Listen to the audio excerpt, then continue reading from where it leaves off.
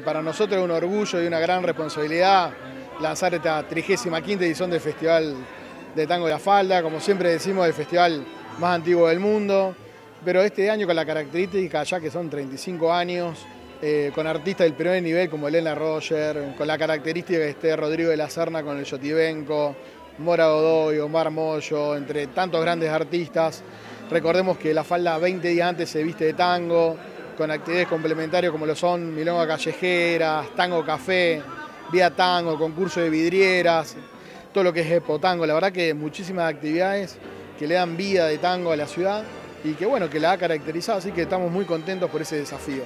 la sorpresa fue hace unos días atrás, cuando la falda se sumó en, la ruta internacional del tango, sumaron a lo que es Río de Janeiro, eh, eso es importante pero vuelven eh, artistas de Chile, de Costa Rica, de Uruguay a, lo que es el Festival Nacional de Tango, así que bueno, seguimos sumando integrantes a la ruta, que siempre es bueno destacar que la Falda ha sido pionera en la creación de esta ruta internacional. Nacional e internacional. Sí, muy gustosos, muy satisfechos. Este es el comienzo de los lanzamientos que vamos a realizar, porque recorremos distintos lugares, como Rosario, como Buenos Aires, tenemos una programación y a su vez eh, cuando tenemos también el tiempo suficiente, recorremos como veedores las subsedes, que son en distintos puntos de la ciudad, de, la nación, de las provincias, justamente para, para sumar subsedes y, de esta manera nacionalizar tal cual es el festival e internacionalizarlo. Así que bueno, estamos muy, pero muy contentos.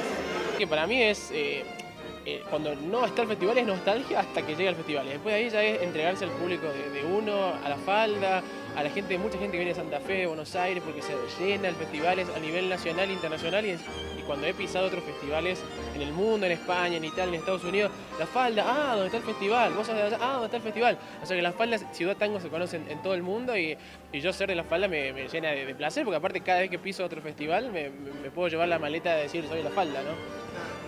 Vos desde el escenario, desde los escenarios de, todo el mundo, ¿cómo ves la falda? ¿Cómo en comparación? Yo, eh, yo he vivido el festival desde adentro, en épocas donde quizás no había tanta organización y no había carpas o no había calefacción, por ejemplo, que era uh, el anfiteatro, hay que entrar ahí. Eh, y la verdad, últimamente, hace varias ediciones igual, es uno de los festivales que más organización tiene, que se te ponen una persona para que esté constantemente arriba tuyo, que uno que te trae, te lleva y te trae, otra que ve de la comida, otra que está solamente para ver si necesitas algo.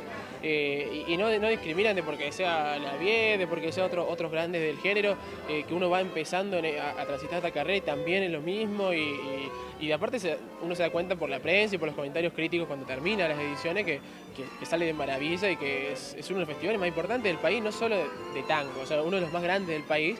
Eh, y más que nada tiene que ver con eso, con la, con la organización y con la forma de